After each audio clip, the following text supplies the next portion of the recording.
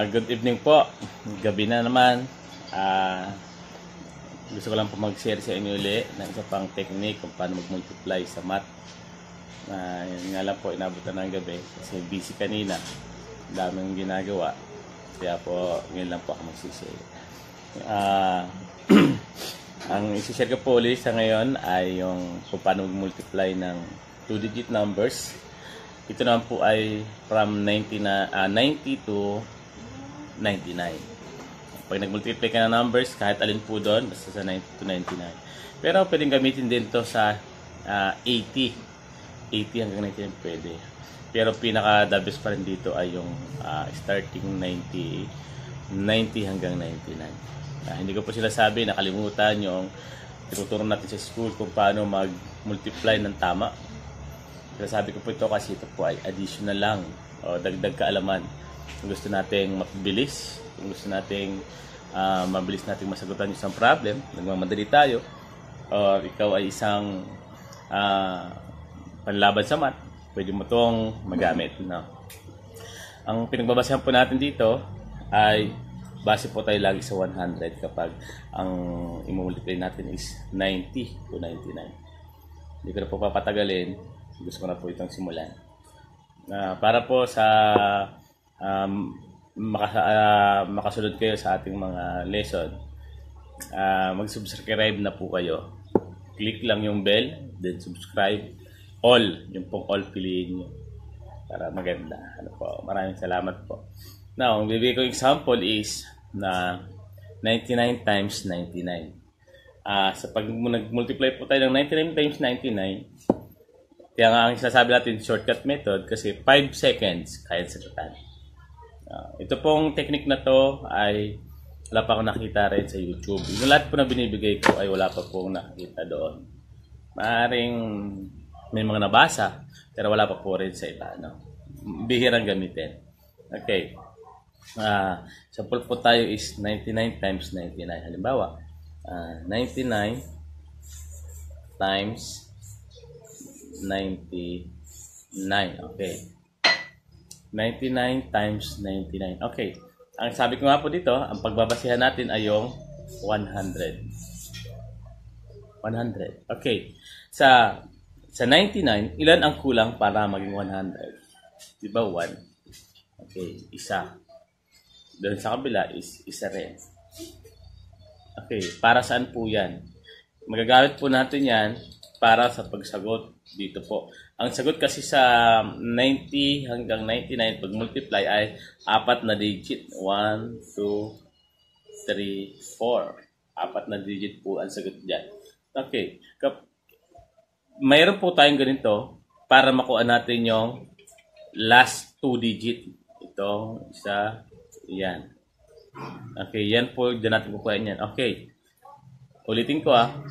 Saan galing yung 1? Kasi ang 99 ay kulang ng isa para maging 100. Ang 99 kulang ng isa para maging 100. Okay. Now, i-multiply po natin yung 1 times 1. 1 times 1, ang sagot ay 1. Ang sabi ko nga, ang sagot dito sa sagot natin, yung last two digit na yan, diyan kukuhain. Eh, paano 1 lang yan? Ibig sabihin, yung katabi, 0 na. Okay? Next is, yung dalawang yan, i-add mo, ilan? Di ba 2? Sila ay 2. Pag in-add mo. Okay. Ilan, yung 100, bawasan ng dalawa, ilan ang sagot? 98. Kaya ang sagot niya is 98. Ang sagot po is 9,801. Yun po yung sagot. Eh, long method po natin siya kung tatama rin ha, na 9,801. Okay, yung long method. 99 times 99. Okay, 81. 81 plus 9 is plus 8 pala, sorry. 89. 99, 1, 8 ulit. 99, 9 times 9, 81 ulit, plus 8, 89. Okay. 1, 9 plus 1 is 10, carry 1. 18, 1, 9. Okay. Ang sagot po ay 9,801. Pero mas mabilis yun. Mas mabilis yung isang yun. Nakuha po agad natin. Okay, isa pa po. Para mabilis natin makuha. Tatlong example lang po sa bawat ano, para mabilis natin. Okay, isa pa. Sample is uh, 90, 97 times 94. Okay. 97 times 94. Ayan. Ulitin natin. Lagi tayo magbabase sa 100. Ilan ang kulang sa 97 para maging 100? 3. Ilan ang kulang sa 94 para maging 100? 6. Okay. Sabi nga natin, yung last two, ang sagot dito sa 94, 97 times 94 ay 4. 1, 2, 3, 4. Yan, di ba? Okay. Yung last two digit, dyan natin kukuhain sa 3 sa kasi. 3 times 6, 18. Okay. Oh, ito na. 18, di ba? Next. 3 times 4, yan isa, tatimes natin, the answer is 24. Nakuha na. Add pala, sorry, add. Add pala natin yan, add. 3 plus, addition pala, 3 plus 6 is 9. Now, yung 9, bawasin natin sa 100, ilan sagot? 91. Ibig sabihin, ang sagot po ay 9,118. Gamitin po natin sa long method. 97 times 94. 7 times 4 is 28. Carry ko. 9 times 4 is 36, 37, 38. 7 times 9 is 63, 6. 9 times 9 is 81 plus 1, 87. Okay, add. 8. 8 plus 3 is 11, carry 1. 1 plus 3 is 4 plus 7, 11, carry 1. Okay. Ang sagot po ay 8,000 9,118. Parehas po doon. Parehas po siya. Mas madali pa rin. No. Okay, last po. Last para ma ano natin. ano po ang gusto niyong number na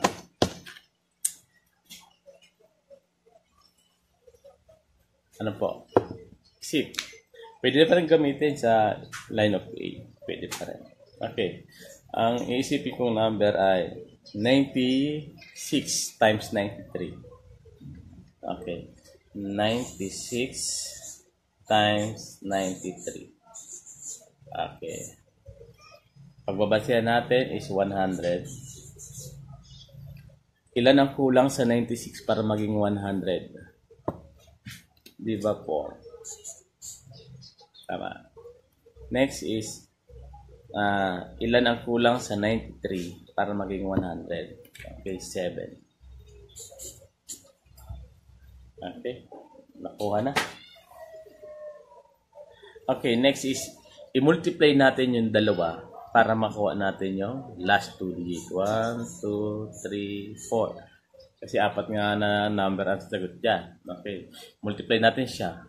4 times 7. Ito. 4 times 7 is 28. Okay. 2, 8. Then, i-add mo yung dalawa. 4 plus 7, 11. Okay. Yung 100 natin, bawasan mo ng 11. Ilan ang sagot? 89. Ang sagot natin ay 8,920. Okay po, gamitin natin ang long method. Ang sagot po dyan ay 8,928. Tingnan po natin sa long method kung paparehas po siya ng sagot. na 96 times 93. Okay.